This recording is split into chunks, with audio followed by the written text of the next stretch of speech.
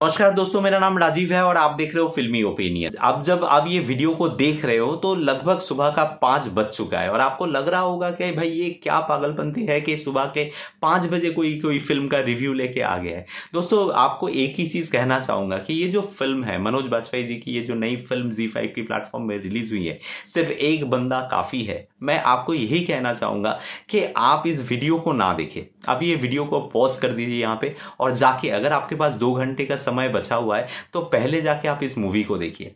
देखने के बाद अगर आपको लगता है कि मैंने आपको सटीक रिकमेंडेशन जो है वो दिया है तो आप मुझे आके दो अच्छे शब्द कह सकते हो और साथ में ये चैनल को सब्सक्राइब कर सकते हो। और अगर आपको लगता है कि नहीं, मैंने आपका समय जो है वो जाया किया, मैं बर्बाद कर दिया आपको समय तो आप मुझे आके गाली भी दे सकता हूँ, मैं इसी वीडियो के अंदर में आपके लिए इंतज़ार करूँगा। मैं क्यों इसको कह रहा हूँ दोस्तों? क्योंकि ये एक फ़िल्म जो है ना, देखिए पहली तो चीज़ जो ये है कि इसकी जो मेकर्स है मतलब अपूर्व सिंह कर की जो इससे पहले टीवीएफ की एस्पिरेंट्स जैसे फ़िल्म वेब सीरीज़ बना चुकी है तो पेडिग्री काफ़ी बड़ा हो जाता है। और ट्रेलर देखने के बाद पता चल गया था कि मनोज वाजपेयी जी ने कमाल का काम इसके अंदर में किया है। तो ये दो चीज़ तो तय थी। लेकिन इसके अलावा एक कोर्ट रूम ड्रामा के अलावा इसके अंदर में क्या है, वो इस फ़िल्म को एक महान फ़िल्म बनाती है। अब दोस्तों, अगर कहानी की बात करें तो ट्रेलर में आप देख चुके हो कि एक जो व्यापारी होते हैं, जो धर्म को अपना बिज़नेस बना लेते हैं, जो धर्म के नाम पे अपना बिज़नेस अपना हवस, अपना सारी जो मतलब कुकर्म जो है उसको करते हैं रहते हैं। तो ऐसी एक बाबा जी की कहानी है, जो एक नाबालिगा लड़की के साथ कुछ छेड़खानी कर लेते हैं। और उसके तहत एक केस जो है, उसके ऊपर बनता है और उसके ऊपर एक कोर्ट प्रोसेसिंग जो चलती है। तो देखिए, ये कहानी तो काफ़ी सिंपल सी है। आपको लग रहा होगा कि भाई, ये तो हम लोग बहुत बार सुन चुके हैं, बहुत बार देख चुके हैं। इसमें नयापन, अलगपन क्या है? अब दोस्तों, अगर मैं बात करूँ इसकी पॉजिटिव साइड लेके, अगर मैं बात करना, अपना पिटारा अगर मैं खोलना चालू करूँ दोस्तों, इसके अंदर में जो सबसे बड़ा जो चीज़ है ना, जहाँ पे बताया जाता है कि शिव जी रामायण के बाद जब रावण का वध कर दिया जाता है और रावण सबसे बड़ा शिव भक्त था तो वो शिव जी को बुला रहे थे अपने मोक्ष पाने के लिए। और उस वक्त शिव जी ने उसको मना कर दिया शिव जी ने उसको क्षमा नहीं किया, क्योंकि उसका जो पाप है, उस पाप को महापाप के तहत उसको गिना जाए। लेकिन वो महापाप क्या है? इस फ़िल्म के अंदर में आपको वो बताया गया कि पाप, बहुत बड़ा पाप और महापाप के अंदर में अंतर क्या है।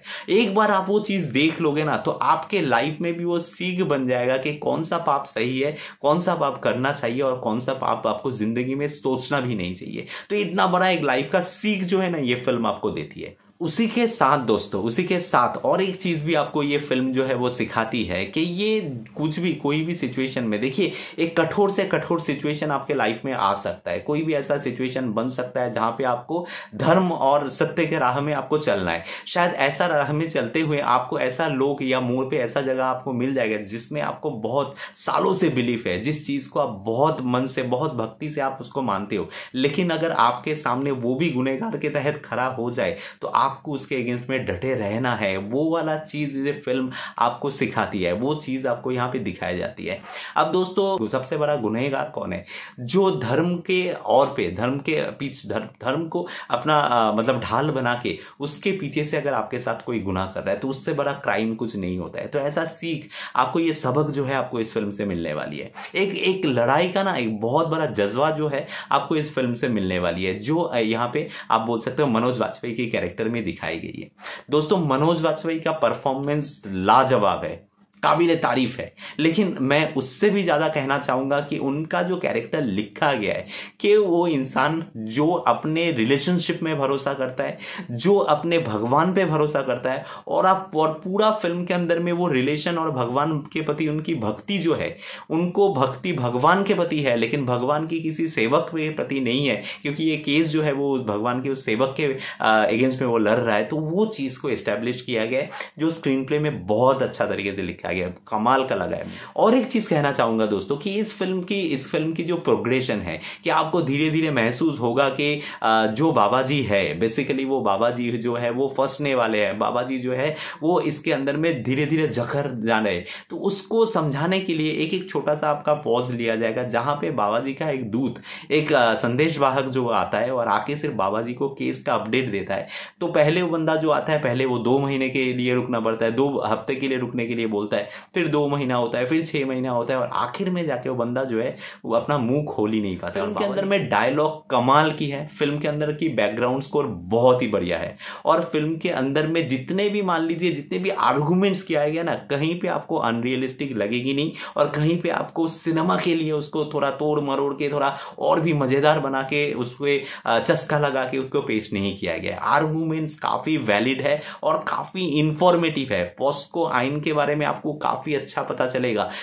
मतलब अपने इंडिया की लीगल सिस्टम के बारे में काफ़ी आपको पता चलेगा। बहुत सारे ऐसे दलीलें और बहुत सारी ऐसी आप बोल सकते हो आर्गूमेंट्स दिखाई गई है जो आपको भी जानना बहुत ही बहुत ही ज़रूरी है। तो वो सारी चीज़ें जो है इस फ़िल्म के अंदर में दिखाई गई है। दोस्तों कमाल की फ़िल्म है। नेगोशिएशन स्किल के ऊपर आपकी अगर ट्रेनिंग चाहिए तो आप इस फ़िल्म को देख सकते हो। आपको कैसे अपना जो अब खुद को डिफेंड कैसे करना है? आपको अगर आप स, स, मतलब आप अगर सही हो तो अपने आप को कैसे प्रेजेंट करना है, वो अगर आपको जानना है, जो आपके प्रोफेशनल लाइफ में भी आपको हेल्प कर सकता है, वो अगर आपको जानना है तो ये फ़िल्म आपके लिए एक must must must watch film है। दोस्तों सिर्फ़ एंटरटेनमेंट के नज़रिया से मत देखिए। ये फ़िल्म आपकी सोच बदलने में मजबूर कर देगी आपको। ये फ़िल्म जो है आपको मतलब आप बोल सकते हो अगर आप सुबह ऑफ़िस जाने से पहले या अपना बिज़नेस में जाने से पहले अपना कोई भी काम करने से पहले अगर दो घंटा आप इस फ़िल्म को देख लोगे ना इसका असर आपको अगला सात दिन तक चलेगा। इसका सोच आपका पूरा दिन आपको सोचने पर मजबूर कर देगी। इस किस्म का फ़िल्म ये है आ, सिर्फ़ एक बंदा काफ़ी है। दोस्तों मुझे पता नहीं कि रिव्यू काफ़ी है या नहीं आपको उत्साहित करने के लिए इस पर्टिकुलर फ़िल्म को देखने के लिए। लेकिन अगर आप ये वीडियो के देखते, पूरा अंत तक देखते हो और जाके ये फ़िल्म को आप देखते हो, कह सकता हूँ कि मेरा जो परिश्रम है, वो डेफिनेटली सार्थक हुआ है। दोस्तों यही था बेसिकली सिर्फ़ एक बंदा काफ़ी है फ़िल्म का रिव्यू आपको कैसा लगा, मुझे कमेंट में आके बता सकते हो। और फ़िल्म अगर अच्छी लगी है तो कृपया इस चैनल को सब्सक्राइब कर लीजिएगा। मिलते हैं आपके साथ मेरा अगला कोई वीडियो में, तब तक के लिए अलविदा।